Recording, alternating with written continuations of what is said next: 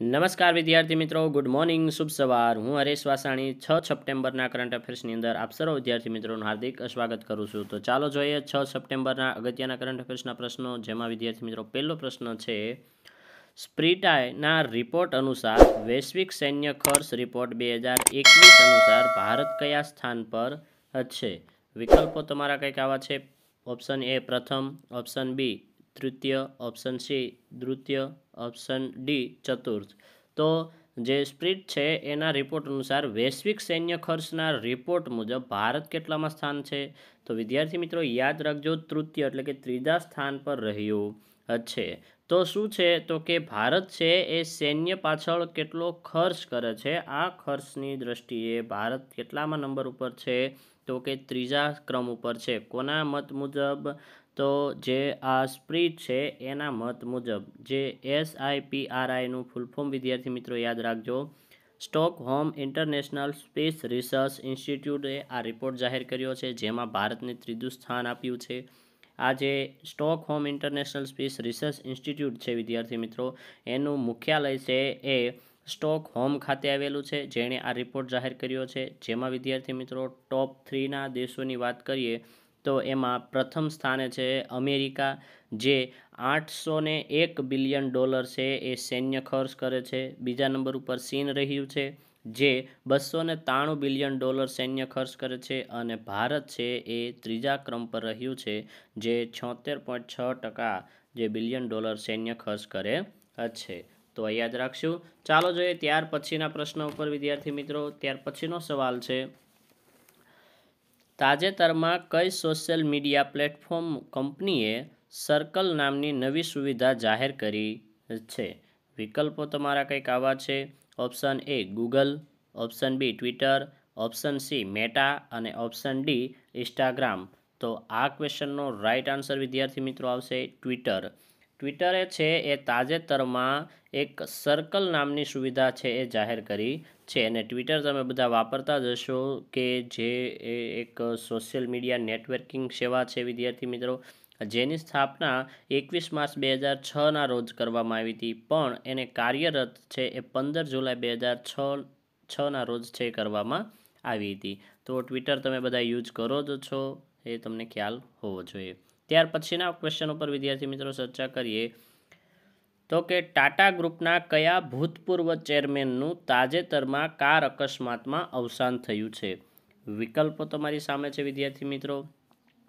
Cyrus Mistry, option B Ratan Tata, option C J R Tata અને option D N ચંદ્રશેખન. તો તાજેતરમાં જે Tata of groups છે એના ભૂતપૂર્વ, એટલે કે પહેલાં ચેરમેન રહી ચૂક્યા છે, જેનું હાલમાં જ કાર એક્સિડન્ટની અંદર છે, મૃત્યુ પામ્યું હતું. તો કોણ છે વિદ્યાર્થી મિત્રો? તો એનો રાઈટ આન્સર છે ઓપ્શન એ સાયરસ મિસ્ત્રી નામના જે વ્યક્તિ હતા, જે ટાટાના ભૂતપૂર્વ ચેરમેન રહી ચૂક્યા હતા. એમનું હાલમાં જ કાર એક્સિડન્ટની અંદર વિદ્યાર્થી મિત્રો મૃત્યુ થયું છે. એના વિશે વિસ્તૃત વાત કરીએ તો જે જે આ સાયરન મિસ્ત્રી છે એ એમ કહેવાય કે ગુજરાતના જે ઉદવાડા ખાતે આવેલું જે પારસી મંદિર છે, ત્યાં કણે દર્શન કરવા આવ્યા હતા અને પાછા પરત જતા હતા. એ સમયે એમની કાર છે એ ડિવાઈડર સાથે અથડાણી અને એ મુંબઈ અમદાવાદ હાઈવે છે એની ઉપર આ દુર્ઘટના બની હતી અને જેમાં એમનું અકસ્માત થયું હતું, વિદ્યાર્થી મિત્રો. અને એ બે હજાર સો બારથી લઈને બે હજાર સોળ સુધી એ ટાટા ગ્રુપના ચેરમેન તરીકે એમણે ભૂમિકા ભજવી હતી. એ ગુજરાતના ઉદવાડા પારસી મંદિરે દર્શન કરવા આવ્યા હતા. એ સમયે આ ઘટના બની હતી, જેમાં એમનું દુઃખદ અવસાન થયું હતું. આપણે યાદ રાખશું, વિદ્યાર્થી મિત્રો, જે સાયરસ મિસ્ત્રી છે એ ટાટા ગ્રુપના ભૂતપૂર્વ ચેરમેન હતા, જેનું હાલમાં નિધન થયું હતું. મેં તમને અહીંયા એમની જે ઘટના કીધી, એમાં વિદ્યાર્થી મિત્રો, એ ગુજરાતના ઉદવાડામાં પારસી મંદિરે દર્શન કરવા આવ્યા હતા. તો આ ઉદવાડા છે એ વિદ્યાર્થી મિત્રો ગુજરાતના કયા જિલ્લામાં આવેલું છે અને ઉદવાડાના ઘણા બધા જીકેના દ્રષ્ટિએ કરંટ અફેર્સ તો છે તે સાથે જીકેની દ્રષ્ટિએ ઉદવાડા રિલેટેડ ઘણો ઇતિહાસ છે આપણને એક્ઝામમાં પૂછાઈ ગયો છે. તો તમારે મને કોમેન્ટ સેક્શનમાં કહેવાનું છે કે ઉદવાડા કયા જિલ્લામાં આવેલું છે અને ઉદવાડા વિશે તમે શું જાણો છો? ત્યાં સુધી આપણે જોઈએ છીએ આગળના કરંટ અફેર્સના પ્રશ્નો વિદ્યાર્થી મિત્રો. ત્યાર પછીનો પ્રશ્ન છે પાંચમી, છમી સપ્ટેમ્બર બે હજાર બાવીસના રોજ ક્વાડની જે વરિષ્ઠ અધિકારીઓની બેઠક છે, એનું આયોજન છે એ કોણે કર્યું? ઓપ્શન છે વિદ્યાર્થી મિત્રો America, option B Japan, option C Australia અને ઓપ્શન ડી ભારત. તો તાજેતરમાં જ પાંચ, છ સપ્ટેમ્બર બે હજાર બાવીસની રોજ જે ક્વાડની વરિષ્ઠ બેઠક છે, એનું આયોજન વિદ્યાર્થી મિત્રો આપણા ભારત દેશે છે એ કર્યું છે. તમને આ પહેલાં ક્વેશ્ચનની અંદર આપણે ચર્ચા કરી કે આ વખતે એનું આયોજન છે એ ભારતના નવી દિલ્હી ખાતે છે એ કરવામાં આવ્યું આવવાનું છે. તો આ ભારતે છે એ કર્યું છે. તારીખ યાદ રાખજો, પાંચ અને છ સપ્ટેમ્બરના રોજ. ક્વાડની અંદર વિદ્યાર્થી મિત્રો ચાર દેશો સમાવેશ છે. મેં પહેલાંય તમને ચર્ચા કરી છે. ભારત, અમેરિકા, જાપાન અને ઓસ્ટ્રેલિયા. આ ક્વાડ એક એવું સંગઠન છે કે જેમાં વિદ્યાર્થી મિત્રો આ ચાર દેશો મળી અને પોતાના જે પ્રશ્નો છે એની ચર્ચા અને એનું સોલ્યુશન લાવતા હોય છે. એમ કહેવાય કે ભારતની અંદર જ્યારે મનમોહનસિંહ અમેરિકાના, અમેરિકાની અંદર ડીક ચેનીના અને જાપાનની અંદર સિન્જો આબે અને ઓસ્ટ્રેલિયાના જોન હોર્વેડ છે, આ હતા. એમણે સંયુક્ત રીતે મળી અને એક આ ક્વાડ સંઘ છે એની રચના કરી. હતી. ભારતમાં ત્યારે કોણ હતું? તો કે મનમોહન સિંહ છે એ પીએમ તરીકે ફરજ બજાવતા હતા. ત્યારે આ ક્વાડની અંદર છે જોડાયા હતા. તો આ યાદ રાખશું વિદ્યાર્થી મિત્રો, હાલમાં જ એની અધ્યક્ષતા કયા દેશે કરી છે? તો ભારતે છે એની અંદર એનું આયોજન કરવામાં આવ્યું હતું અને તેની અધ્યક્ષતા સંભાળી છે. ચાલો જોઈએ ત્યાર પછીનો પ્રશ્ન વિદ્યાર્થી મિત્રો. દર વર્ષે ભારતમાં શિક્ષક દિવસ ક્યારે ઉજવવામાં આવે છે? ઘણા બધા દર્શક મિત્રો છે, એણે આ શિક્ષક દિવસની અંદર ભાગ પણ લીધો હોય છે, અથવા તો જ્યારે ભૂતકાળની અંદર તમે અભ્યાસ કરતા ત્યારે પણ શિક્ષક દિવસની અંદર તમે ભાગ લીધો હોય છે. અને વખતો વખત એક્ઝામની દ્રષ્ટિએ તાજેતરમાં બનેલા જે અગત્યના દિવસો છે અથવા તો એવી ઘટનાઓ છે, એ આપણને એક્ઝામમાં કન્ફ્યુઝ સ્વરૂપે પૂછતા હોય, તો આપણને યાદ હોવું જોઈએ વિદ્યાર્થી મિત્રો. ઓપ્શન એ એક સપ્ટેમ્બર, ઓપ્શન બી ત્રણ સપ્ટેમ્બર, ઓપ્શન સી પાંચ સપ્ટેમ્બર અને ઓપ્શન ડી સાત સપ્ટેમ્બર. તો ભારતની અંદર, વિદ્યાર્થી મિત્રો, શિક્ષક દિવસ છે. એ દર વર્ષે પાંચ સપ્ટેમ્બરના રોજ છે ઉજવવામાં આવે છે, જેને ટીચર ડે તરીકે આપણે ઓળખીએ છીએ, વિદ્યાર્થી મિત્રો. તો આ યાદ રાખશું. આના વિશે તમને ખ્યાલ જ હશે કે ભારતના પ્રથમ ઉપરાષ્ટ્રપતિ અને ભારતના બીજા રાષ્ટ્રપતિ એવા ડૉક્ટર સર્વપલ્લી રાધાકૃષ્ણ છે, જેની જન્મ જયંતિ નિમિત્તે છે, આ દિવસની ઉજવણી કરવામાં આવે છે. અહીંયા વિદ્યાર્થી મિત્રો, એમના કાર્યકાળ પણ આપણને પૂછે તો યાદ હોવું જોઈએ. જ્યારે ડૉક્ટર સર્વપલ્લી રાધાકૃષ્ણ છે, જે એક શિક્ષક હતા, જેમણે ભારતની અંદર પ્રથમ ઉપરાષ્ટ્રપતિ એટલે કે ઓગણીસો બાવનથી લઈને ઓગણીસો ને બાસઠ સુધી અને ત્યાર પછી વિદ્યાર્થી મિત્રો એ ભારતના બીજા રાષ્ટ્રપતિ બન્યા. જેનો સમયગાળો હતો ઓગણીસો બાસઠથી લઈને ઓગણીસો ને સડસઠ સુધી. અને એમની યાદમાં આ દર વર્ષે ભારતની અંદર શિક્ષક દિવસ છે ઉજવવામાં આવે છે, જેમાં દરેક બાળકો છે એ શિક્ષક તરીકેનો રોલ છે, ભજવતા હોય, છે, જેમાં તમે પણ બધાએ ભાગ લીધો હશે. તો ત્યાર પછીના પ્રશ્નો પર વિદ્યાર્થી મિત્રો ચર્ચા કરીએ. તાજેતરમાં ભારતમાં પપૈયાના વાવેતરની દ્રષ્ટિએ ગુજરાત કેટલામાં ક્રમે છે? વિકલ્પો તમારા છે. ઓપ્શન એ પ્રથમ, ઓપ્શન બી બીજા, ઓપ્શન સી ત્રીજા, ઓપ્શન ડી ચોથા. તો ભારતમાં પપૈયાનું જે વાવેતર છે, જેને પપૈયા આપણે કહીએ છીએ, એના વાવેતરની અંદર ગુજરાતનો ક્રમ કેટલામાં છે? તો યાદ રાખજો વિદ્યાર્થી મિત્રો, જે પપૈયા છે, એના વાવેતરમાં ગુજરાત પ્રથમ સ્થાને છે, રહ્યું છે. આ માહિતી છે એ આપણા ગુજરાતના કૃષિ મંત્રી રાઘવજી પટેલ દ્વારા આપવામાં આવી હતી અને એને જણાવ્યું છે કે ભારતમાં ગુજરાત છે એ પપૈયાના વાવેતરમાં પ્રથમ ક્રમે રહ્યું છે. જેણે માહિતી આપતા જણાવ્યું હતું કે રાજ્યની અંદર, ગુજરાત રાજ્યની અંદર અઢાર હજાર હેક્ટરની અંદર છે એ પપૈયાનું વાવેતર કરવામાં આવે છે અને અગિયાર લાખ મેટ્રિક ટન છે એ પપૈયાનું છે ઉત્પાદન કરવામાં આવે છે. અને આ પ્રસંગે એમણે જે ગુજરાત કૃષિમંત્રી છે રાઘવજી પટેલ એમને ખેડૂતોને જાગૃત કરવા અને પપૈયાના વાવેતર માટે યોગ્ય માર્ગદર્શન અને માહિતી આપી હતી. તમને ખ્યાલ છે કે પપૈયાનો જે પાક છે એ રોકડીયો ફળાવ પાક ગણવામાં આવે છે. જેના દ્વારા ઔષધિઓ પણ બનાવવામાં આવે છે અને ઔદ્યોગિક એટલે કે પપૈયામાંથી ઘણી ઔદ્યોગિક બનાવટો છે કરવામાં આવે છે. જેમ કે આપણે માવાની અંદર ડૂટી ફૂટી ખાઈએ છીએ. આવી રીતની ઘણી બધી જે આઇટમો છે એ પપૈયામાંથી બનાવવામાં આવે છે.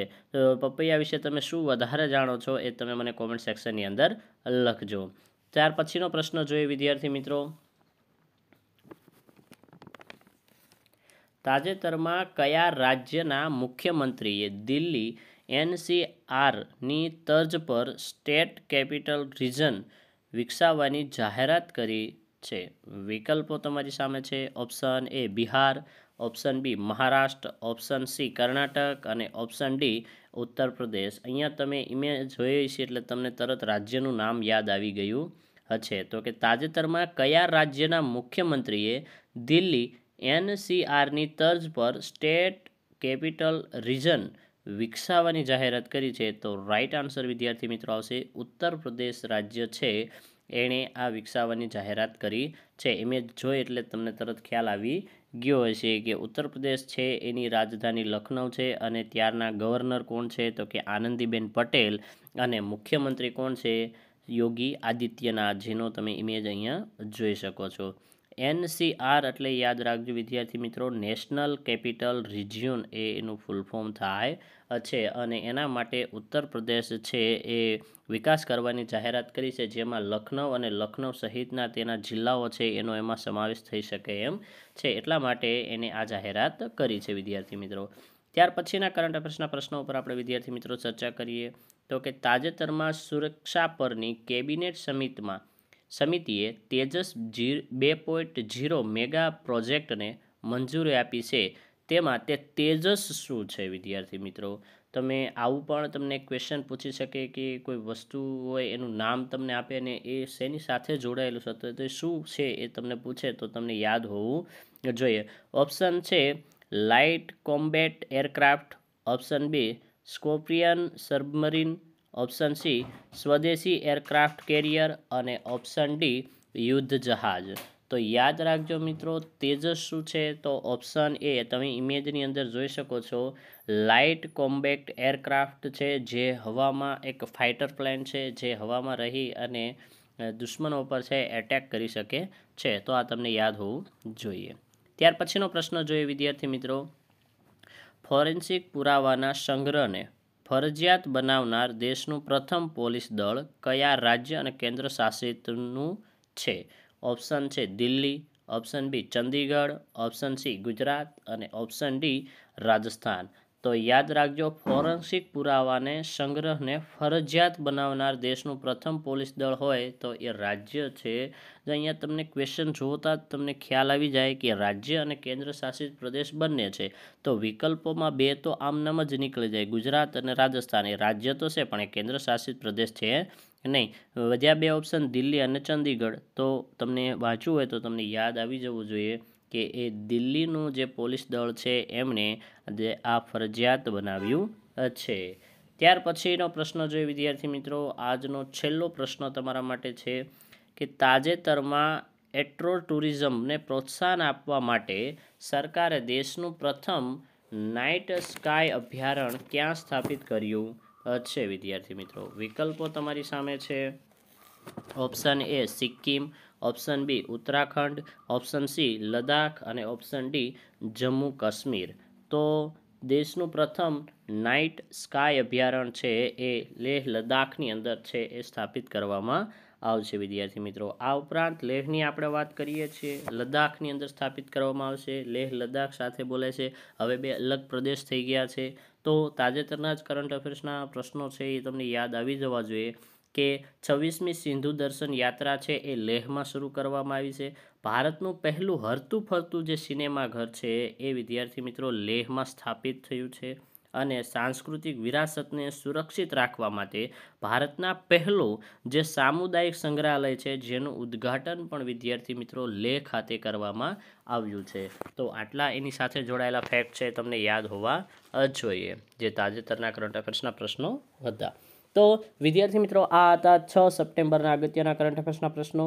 નવા પ્રશ્નો સાથે ફરી મળશું ત્યાં સુધી રજા લઈએ. આ વિડીયોને અંત સુધી જોવા બદલ તમામ વિદ્યાર્થી મિત્રોનો ખૂબ ખૂબ આભાર. અને હજે તમે અમારી ચેનલ સબસ્ક્રાઇબ નથી કરી તો એને સબસ્ક્રાઇબ કરી લો અને બાજુના બે લાઇકન ઉપર પણ ક્લિક કરી દો જેથી અમારા દરેક વિડીયોના નોટિફિકેશન તમને મળતા રહે. અને જો તમને અમારો વીડિયો યુઝફુલ લાગ્યો હોય અને સારી માહિતી લાગી હોય તો આ વિડીયોને લાઇક કરતા જજો. ધન્યવાદ.